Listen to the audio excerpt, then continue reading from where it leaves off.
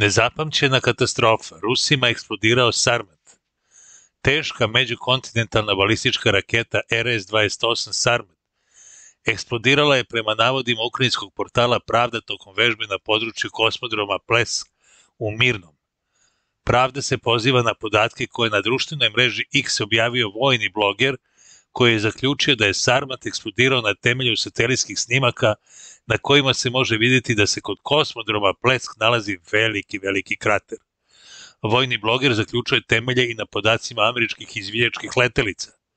Veliki krater navodno pokazuje da je Sarmat eksplodirao u svom silosu i samim tim uništio poligon. Vojni bloger tvrdi da su požar u Plesaku zabeležili sateliti koji pripadaju nacionalnoj upravi za okean i atmosferu SAD-a. Pritisnite subscribe ili prati. Hvala.